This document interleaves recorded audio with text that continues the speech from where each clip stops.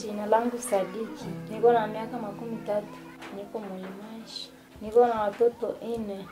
Alikuwa mgonjwa siku ine,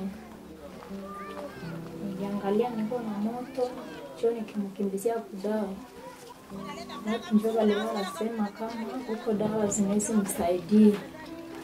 Nilikuwa najua kama tapona. Mapere Dina Inès. Je suis infirmière de santé de référence CBM en pédiatrie médecine interne. Ça fait, ça fait 5-6 mois que je travaille avec Jonathan. Les maladies sont fréquentes, c'est le paludisme, pneumonie, fièvre typhoïde, diarrhée. L'enfant Rafiki est venu le 23 septembre 2019. Il souffrait de pneumonie aiguë sévère. À son arrivée, il a fait des dysphonées, mais après des jours, après une journée, ça s'est- terminé.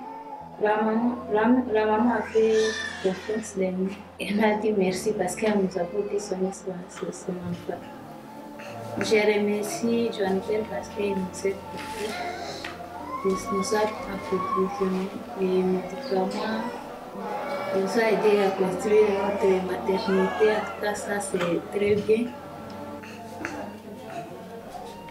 Nabo Mungu atawasaidia watapona. Mimi naona mtoto wangu anapona na mimi nafurahi sana. Alinipokea mzuri, nilisikia nina furahi, narudia na mtoto mzima anapona.